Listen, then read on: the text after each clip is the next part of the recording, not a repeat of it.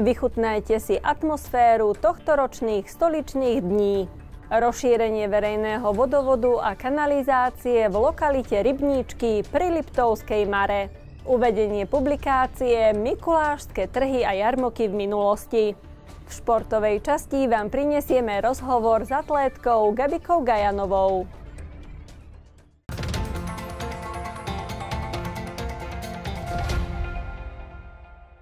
Čoskoro sa začnú letné prázdniny a tradičné dovolenkové obdobie. Nech už teplé letné dni trávite na záhrade alebo pri vode, my vám z redakcie Liptovských novín prinášame to podstatné, čo sa udialo v našom meste za uplynulé dni. Vitajte pri televíznych obrazovkách.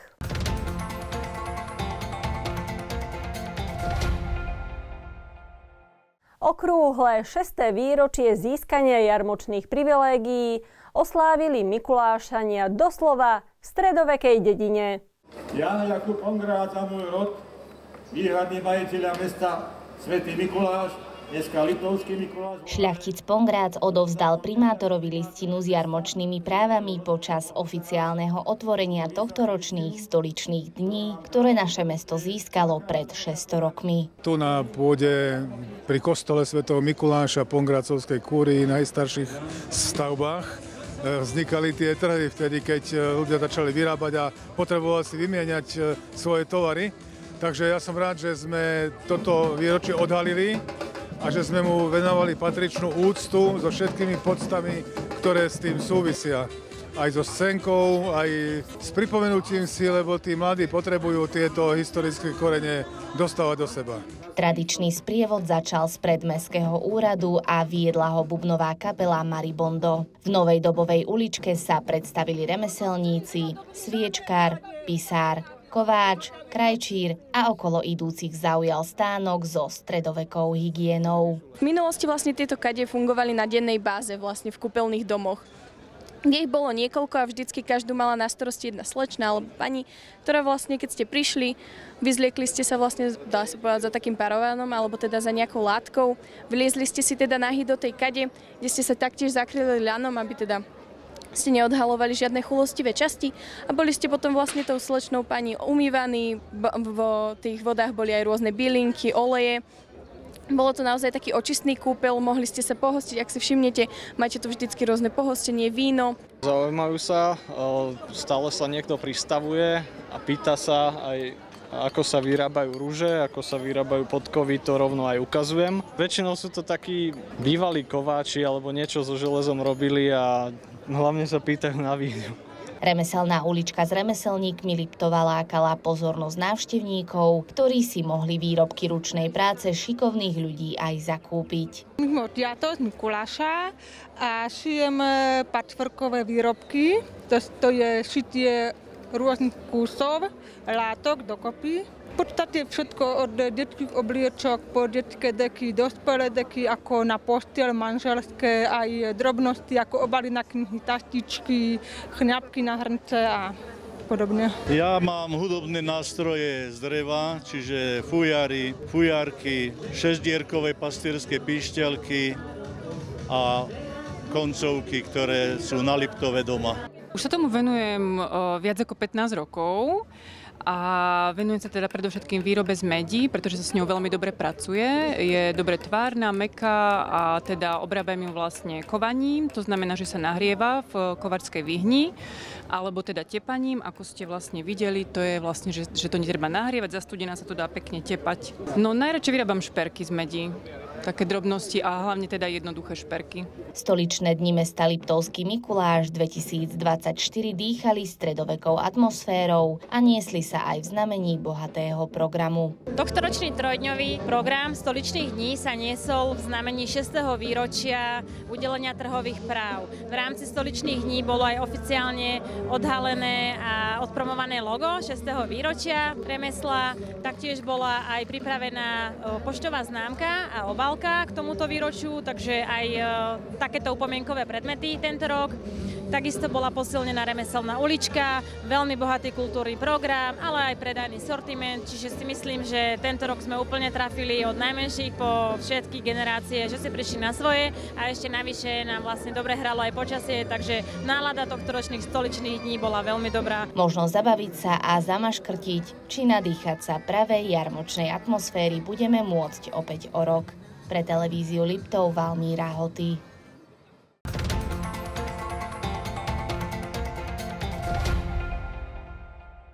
Cestovný ruch je kľúčovým odvetvím v atraktívnom regióne Liptov. Jeho ďalší udržateľný rozvoj je však podmienený výstavbou základnej infraštruktúry. Príkladom je najnovší počín v lokalite Rybníčky na severnom brehu Liptovskej Mary medzi Liptovským Mikulášom a Liptovským Trnovcom. Spoločný projekt vodárenskej spoločnosti, podnikateľov a samozprávy pôsobiacich v Liptovskom Mikuláši umožní odkanalizovať a napojiť územie určené na rozvoj cestovného ruchu na verejný vodovod. Táto investícia ako významné verejno-súkromné partnerstvo znamená prínos pre mesto aj pre región Liptov, pre severnú stranu Liptovskej Mary ekologicky predovšetkým, ale hlavne ekonomicky. Ekologicky v tom, že si chceme ochrániť našu prírodu do budúcnosti a predovšetkým Liptovskú maru. A ekonomicky v tom, že aj k tejto investícii pribudnú pracovné miesta a pre mesto Liptovský Mikuláš samozrejme z toho vyplynú ďalšie benefity v podobe daní z nehnuteľnosti, ale aj dane z ubytovania, ktoré určite radi zaplatia spokojní zákazníci budúcich investícií, návštevníkov, hotelov, penziónov, používateľov rôznych služieb, ktoré Liptov tak štedro ponúka.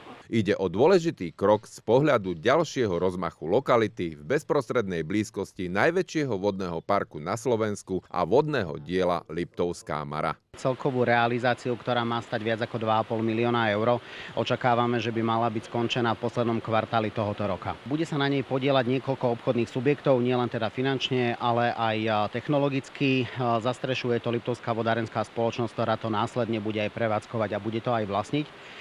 To znamená, že vstupujeme v tejto chvíli do veľmi náročnej, takmer poloročnej práce, ktorá samozrejme ovplyvní aj fungovanie tu na v regióne, keďže tá, celá tá infraštruktúra sa buduje vedľa hlavnej cesty medzi Liptovským Mikulášom a Liptovským Trnovcom ale je zároveň našou prioritou číslo jedna, aby bola zabezpečená aj bezpečnosť turistov, ktorí sa v letnej sezóne budú na Liptove nachádzať a pevne verím, že teda po po tom, čo uzrie svetlo sveta táto novo vybudovaná infraštruktúra, tak to ocenia nie len teda turisti, ale zároveň aj občania nášho mesta.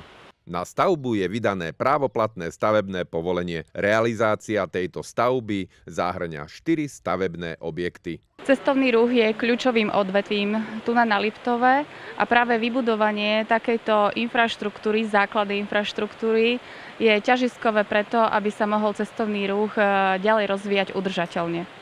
Keď sa dielo dobuduje, tak sa samozrejme budú môcť aj ďalšie subjekty, ktoré budú v tejto lokalite na kanalizáciu a vodovod napojiť. Z praktického hľadiska dôjde k napojeniu lokality Rybníčky na túto vodovodnú a kanalizačnú prípojku vrátane čerpacej stanice, všetko v dĺžke takmer 3 km. Pre televíziu Liptov Jan Kamenský.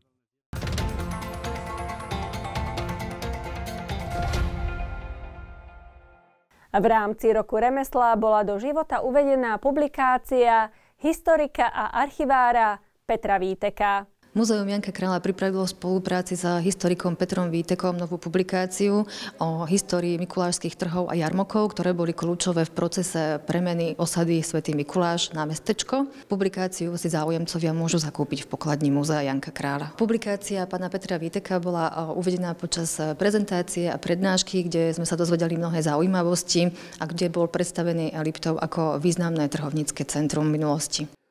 Táto publikácia má vlastne ukázať, že tie trhové tradície e, v rámci celého Liptova majú hlboké korene a vlastne ten výskum celý nadvezuje na výskumy starších historikov, autorov, napríklad profesor Ferdinand Uličný, a odvíja sa od e, znalosti stredovekých listín a ich obsahu v rámci Liptova. To znamená, že tie prvé výsady miest, mestečiek, ktoré súvisia potom aj s trhovými výsadami. Takže ja som vlastne to spracoval, tú publikáciu v dvoch kapitolách, kde rozprávam alebo píšem, ako tie trhové tradície vznikali alebo v tých listinách sa uvádzajú v rámci Liptova a potom som sa sústredil na Liptovský Mikuláš kde presne píšem, že v ktorých rokoch a aké výsady mestečko získalo.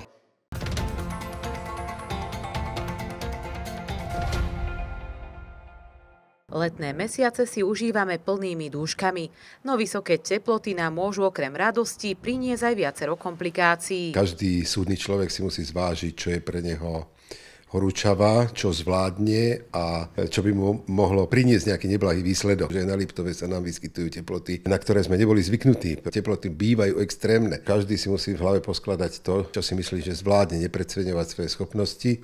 No a potom pri rekreačno-športových a iných aktivitách, kde je predpoklad dlhšieho pobytu, vypúšťať z rôznych aktivít obednejšie teploty, obednejšie extrémy, kde sú, kde sú tie teploty najvyššie.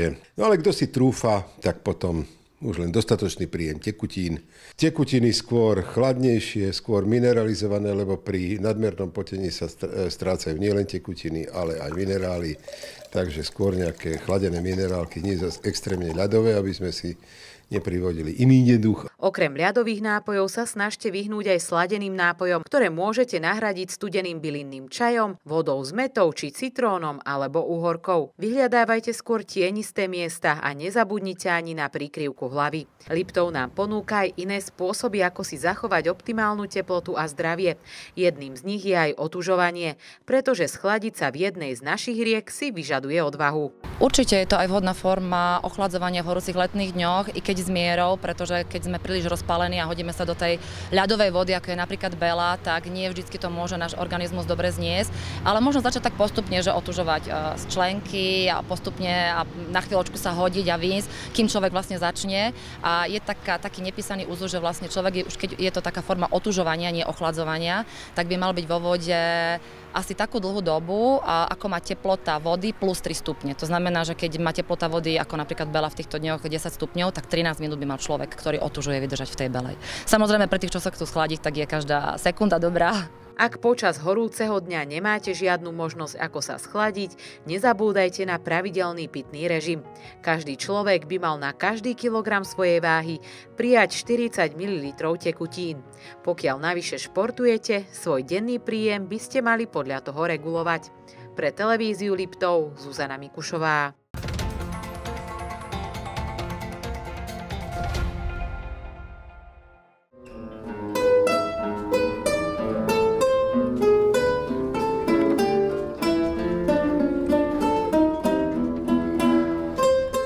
Odozdali sme ceny za školu roka a to v kategórii školské športové súťaže a predmetové olimpiády. Je to vlastne sumár všetkých e, aktivít škôl počas školského roka 2023-2024, ktoré sme ponúkali v zmysle poverenia školského úradu v Žiline ako Centrum voľného času.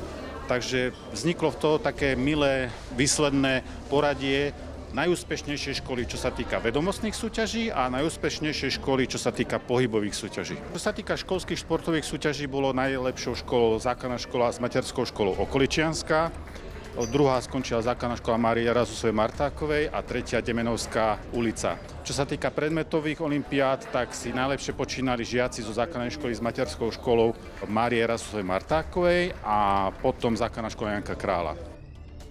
Verejnoprospešné služby mesta Liptovský Mikuláš začali práce na obnove poškodených častí mosta ponad železnicu, ktorá spája autobusovú stanicu so zástavbou pod stráňami a smútnikom. Kvôli obnove bude most do konca septembra úplne uzatvorený. Dôrazne žiadame chodcov, aby na obchádzku používali priecestie pri hasičskej stanici a neprechádzali cez koľajisko.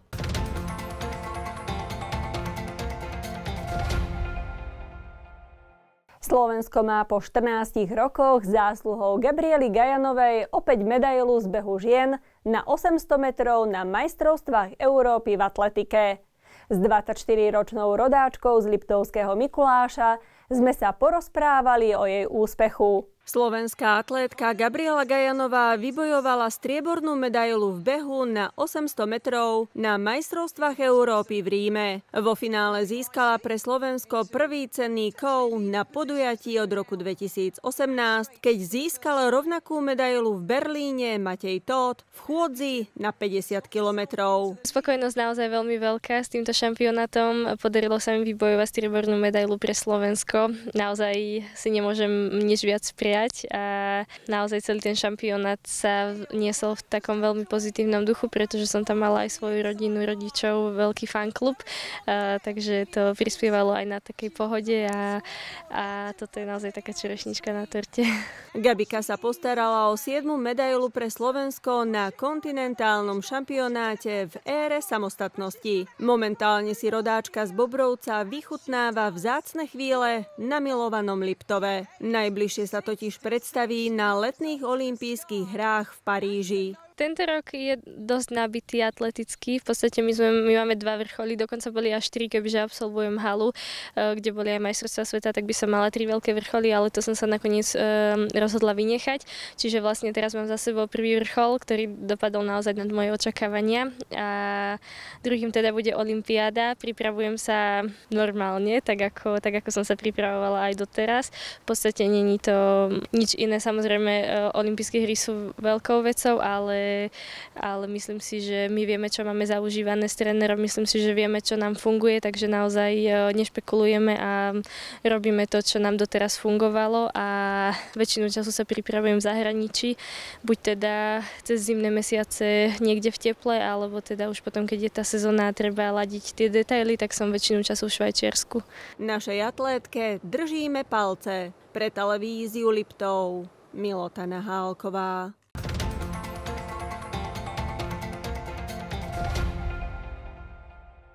Milí diváci, scenár Liptovských novín sme vyčerpali, no my pokračujeme vo vysielaní ďalším zaujímavým programom. Vaša televízia Liptov, zdroj informácií z vášho domova. Majte sa pekne, dovidenia.